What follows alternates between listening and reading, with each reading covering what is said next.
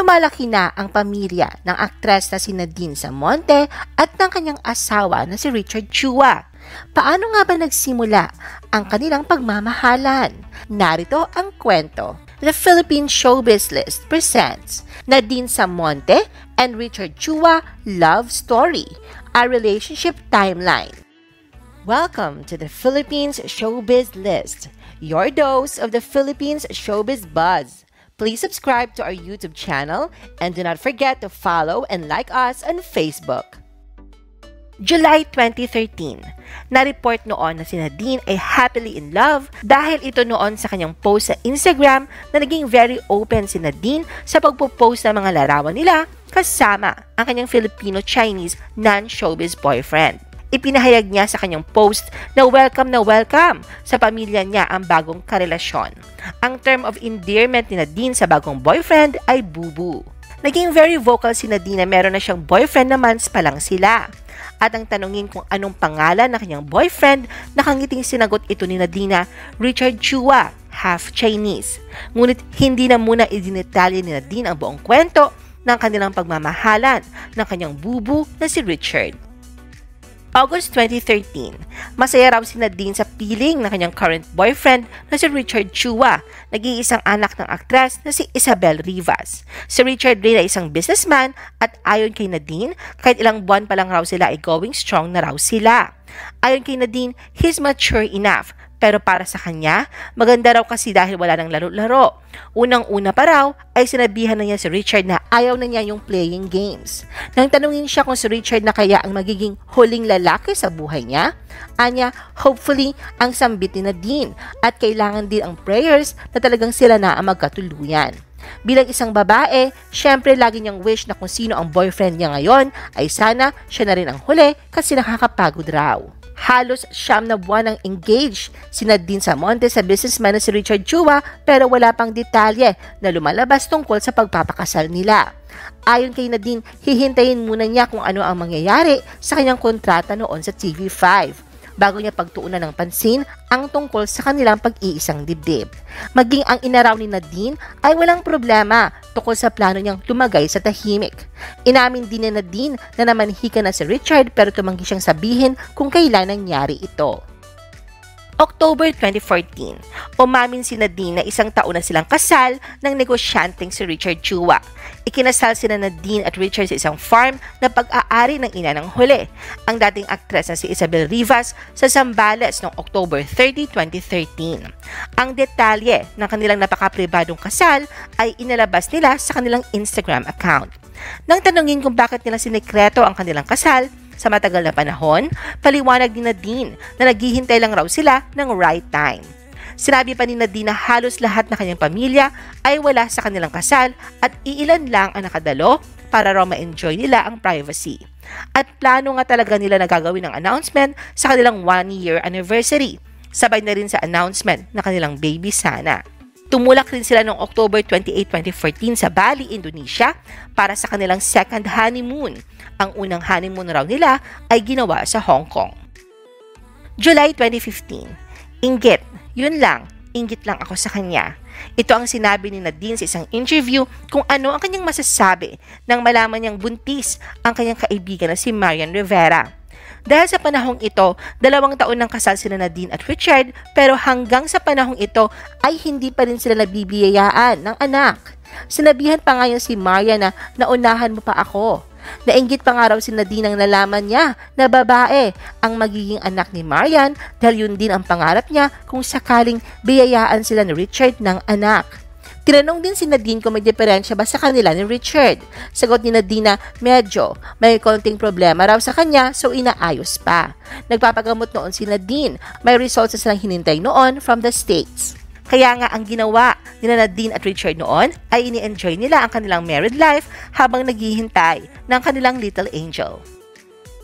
June 2016, sa pamamagitan ng Instagram, inannounce na din noong June 2016 na babae ang magiging panganay na anak nila ni Richard.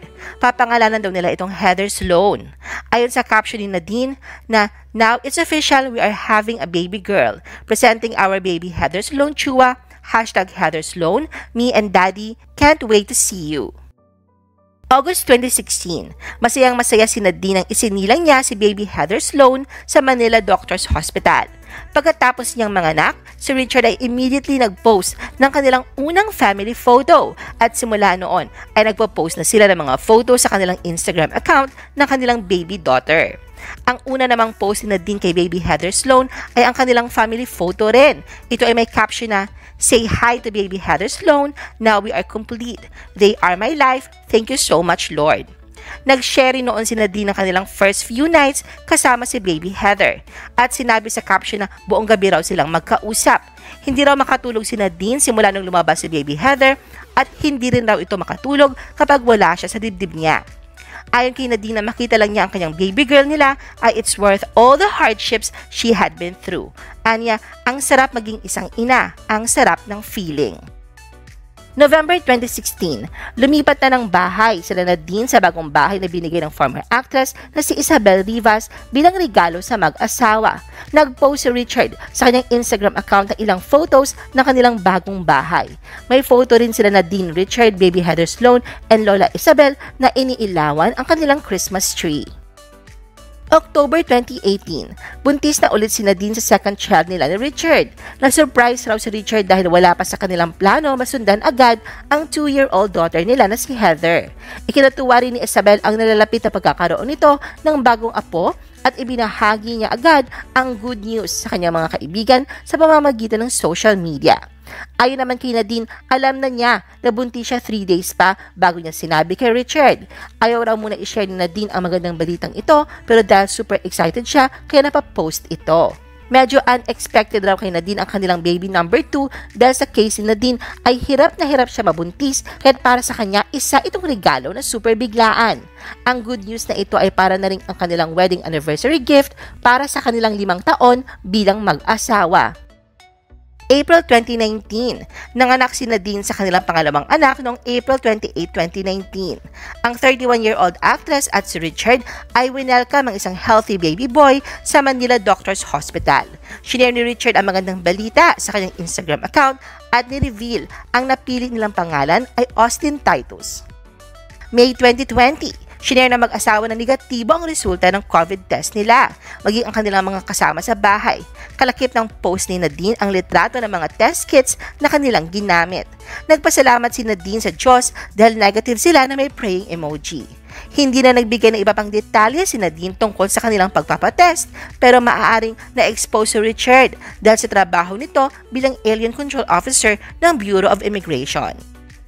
September 2020, sila Nadine at Richard ay ini-enjoy ang family life sa Sambales kung saan ang kanyang mother-in-law na si Isabel Rivas ay may sariling farm. Na-enjoy raw ni Nadine ang mga household chores kasama si Heather.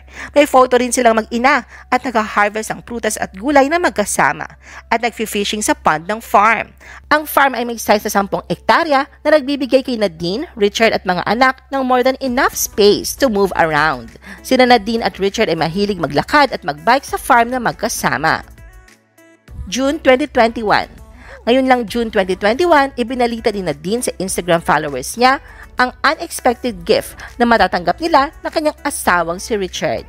Ayon sa post ni Nadine ay, Happy to announce that now we are a family of five. Hello second trimester na may hashtags na hashtag thank you Lord, hashtag unexpected gift, at hashtag baby3.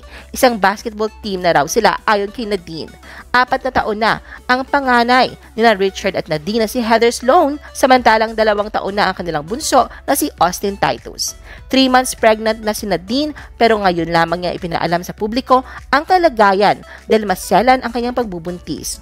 Ayon sa mother-in-law ni Nadine na si Isabel, na sa December ang due date niya, pero wala pang gender but feeling nila na it's a girl. Kawawa raw si Nadine dahil maraming bawal sa kanya, pero ayon kay Isabel ay she's so happy. I-post ang inyong comments at reaction sa baba. At huwag kalimutan na i-like at i-share ang video na ito. Gusto mo pa ba ng ibang showbiz videos? Panoorin ang aming iba pang top viewed videos. Para sa aming mga YouTube viewers, pumunta lang sa description ng video na ito o i-click ang link sa itaas ng screen. Para naman sa mga Facebook viewers, ay maaari ninyong hanapin ang mga link sa comment section ng video. I-follow nyo din kami sa Facebook at mag-subscribe sa aming YouTube channel. Thanks for watching!